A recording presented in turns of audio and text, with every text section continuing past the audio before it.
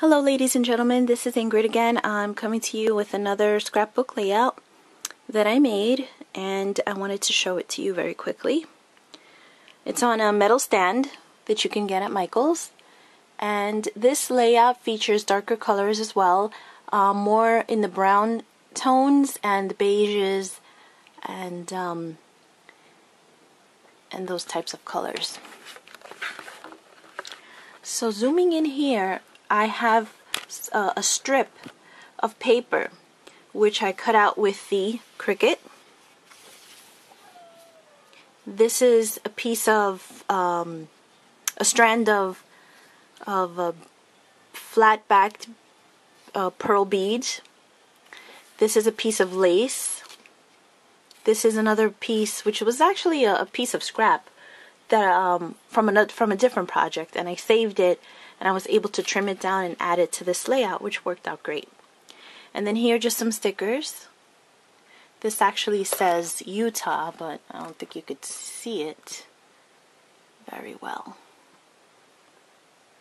Okay, Salt Lake City, Utah. I don't know if you could see it very well. Okay, and then here's another uh, sticker, and I colored the inside of that red just to match.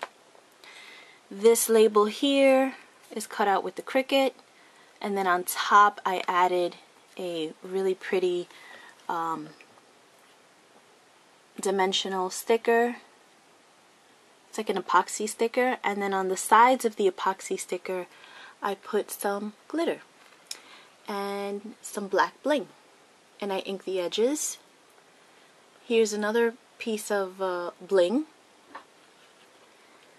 this piece here I cut out with the, the Cricut as well. Um, that again was from a different project. It was a different color. Um, but I wanted to use it here so I, I turned it around and I just began spraying it with different um, sprays and was able to achieve this color and then I felt like it was good enough to put on this layout. And then I just went on top and added some bling different blings. This is a photograph that I inked the, I, I cut the edges with one of those, um, you know, these kinds of scissors that have like the, you know, the different shape. I think the one I used on this was the postal shape.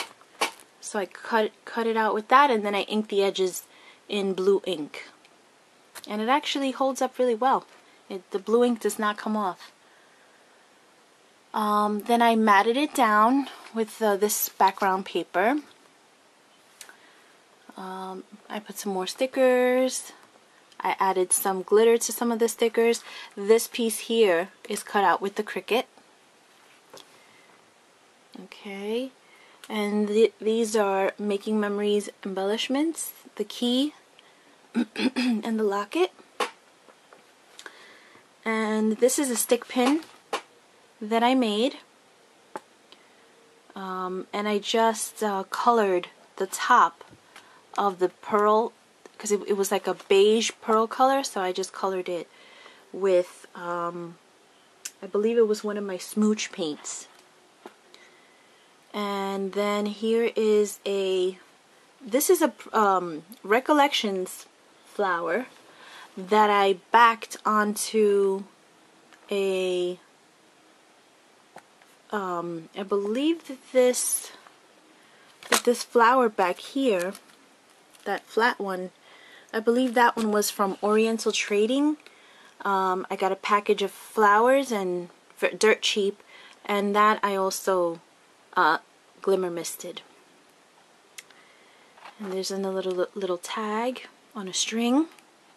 This was actually from the packaging.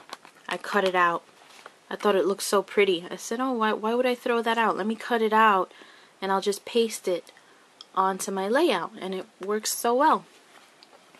Here's a, a strip of paper that was going into the scrap heap, but I saved it.